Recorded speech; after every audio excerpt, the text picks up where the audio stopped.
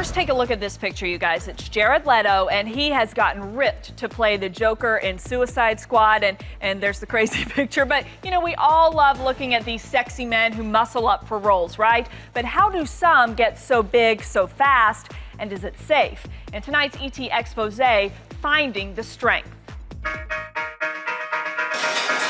I've never touched a steroid or a hormone or a magic pill in my life. So I wouldn't know anything about that. I hear rumors, but I don't judge people who have. Uh, that's their life experience. Talk about getting buff. Is it all cheeseburgers and weightlifting, or is there help from from a doctor? Is there guidance?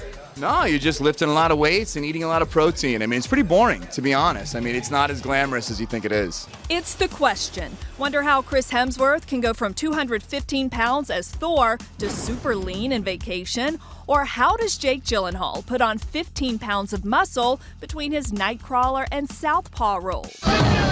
Hugh Jackman, who just joined the 1,000 pound club, goes from this to this in months. There are many stars who've had amazing transformations for their roles. For some, it's intense, hard work.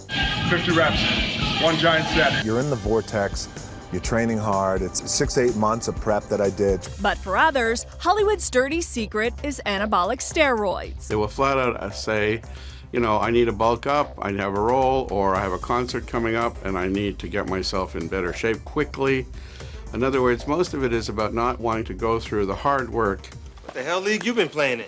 California Penal. Charlie Sheen is one of the few actors on the record about using steroids for a role. You said something pretty extreme about your time on Major League. I did steroids, yeah. Mm-hmm. Yeah. Did you know he was doing that? Did you do anything drastic? No, no, I, I didn't do anything drastic. I, only- still don't believe that he did that. But I only did them for like just sounds two good. months and put some speed on my fastball, and that was it. You know, I got in a few bar fights, but who cares? I mean, come on. Nobody cared back then. You'll see an actor, and they'll get paid a lot of money to look a certain way for a given role, and there's a lot of pressure to do that. So they may resort to taking steroids and, and lifting weights to get there quickly.